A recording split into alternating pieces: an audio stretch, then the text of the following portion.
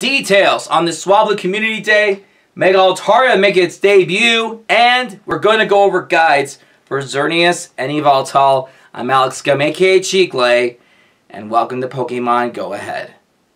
Oh my god! Back to!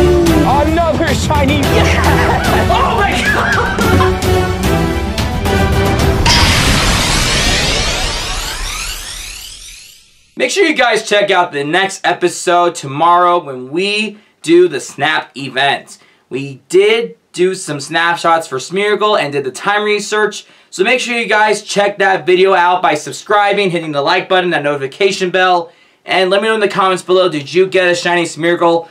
Let me know. But for now, since we are still at the process while you're watching this, editing that video, I thought I'd kill time to talk about the Swablu Community Day details because they just came out and we have some raid guides to go over for both Xerneas and Yveltal, because they're both going to make their debut in the month of May. So, let's dive in. Swablu features during May Community Day and Mega Altaria will be appearing afterwards. Trainers. The featured Pokemon for this May's Community Day will be Swablu, the Cotton Bird Pokemon. Again, this event is going to be from May 15th through 11 a.m. to 5 p.m. So mark your calendars down if you need a shiny or any candidate to evolve Swablu into Altaria. Swablu will be appearing more frequently in the wild. If you're lucky, you might encounter a shiny one. Evolve... Evolve Swablu during the event or up to two hours afterwards to get an Altaria that knows the attack Moonblast. Take a few snapshots during Community Day for a surprise. Five Swablus, just to spoil the surprise. There will be a special one-time purchase Community Day box available for 1280 Pokecoins featuring 50 Ultra Balls, 5 Super Incubators, 5 Incenses, and an Elite Fast TM. For 1 US dollar, you'll be able to access the Swablu Community Day exclusive special research story called The Cotton Winged Bird. Stay tuned for when tickets for the Cotton Winged Bird special research go, uh, goes live. Uh, tickets are non-refundable. Um, please note that this special research will not include an in-game medal, just like with the other special research stories. Mega Altaria will be making its Pokemon Go debut in Mega Raids at the conclusion of May Community Day. So, sadly, it will not be during the event. Otherwise, we could just be doing raids during Community Day.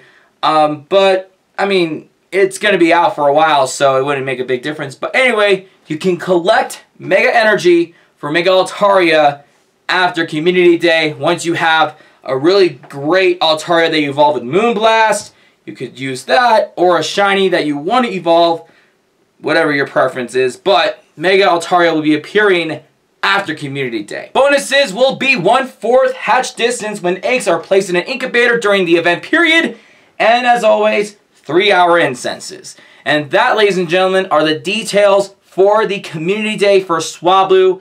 A lot of people are going to be excited about this community day because maybe they don't have enough candy for an Altaria. Maybe they don't have a shiny. It's not an easy shiny to find, but we did get like a few. So, I mean, we'll have to suck it up. But, I mean, we will do this for the XL candy.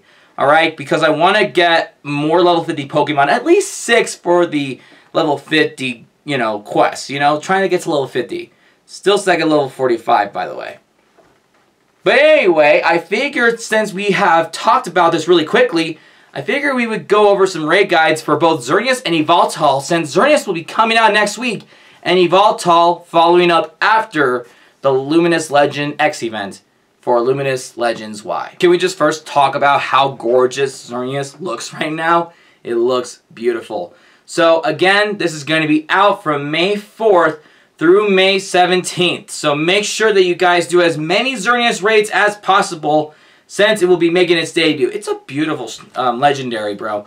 Um, CP ranges for a hundo. If it's a regular, it's going to be 25.79 for the hundo. And since it is a fairy type, it will be weather boosted when it is cloudy. And that's 32.24. So remember, the numbers are 25.79 and 32.24.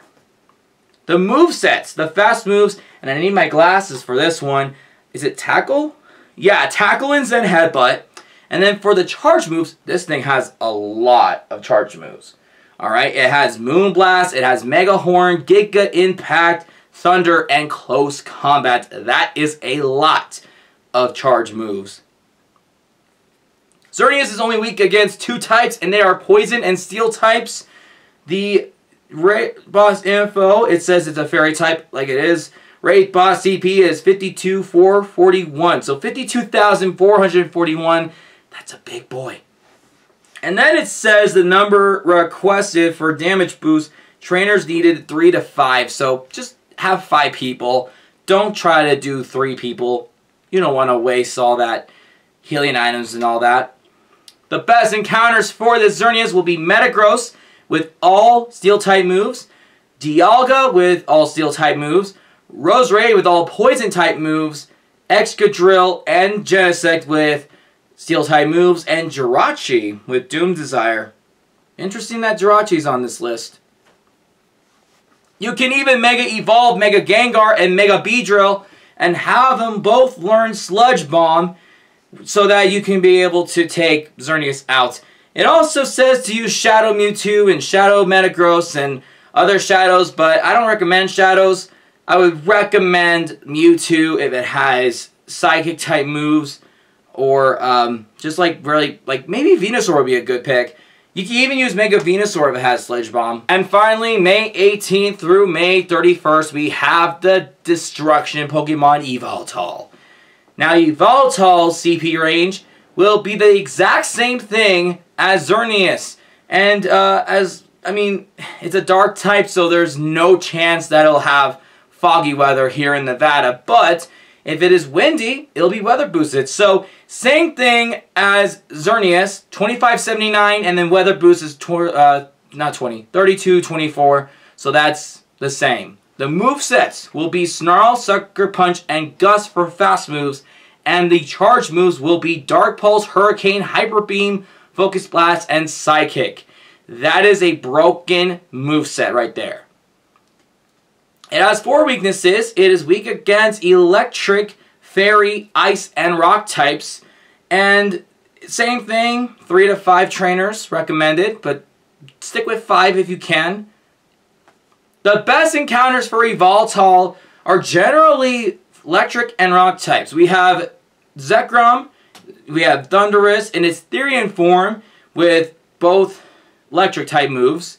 We have Rampardos, Rhyperior, and Terrakion with all rock type moves. And then we have Raikou. You can use Mega Manectric if you please. We also have Mamoswine, which can learn ice type moves such as Powder Snow and Avalanche. We also have Magnezone, which will be super good unless it has Focus Blast, then don't use Magnezone. Here's another good recommendation. I would definitely use Mega Altaria with Moonblast and Xerneas. Because Xerneas, you already did raids the week before Yveltal, so you have a Fairy type in disposal.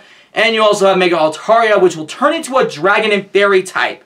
So although it did not list any of those encounters on this raid guide, I would definitely just bring in some fairy types in um, if you would like to take Yveltal down. And ladies and gentlemen, that will conclude today's episode. Again, make sure you guys subscribe to the channel and hit the notification bell. And stay tuned for tomorrow's episode where we show you how we did on the first day of the Snap event. I'll tell you what, okay? I'm not to spoil too much, but um, we did get a shiny. I'm not to tell you what it is, though but we did get a shiny. I'll see you guys in the next episode. Peace out.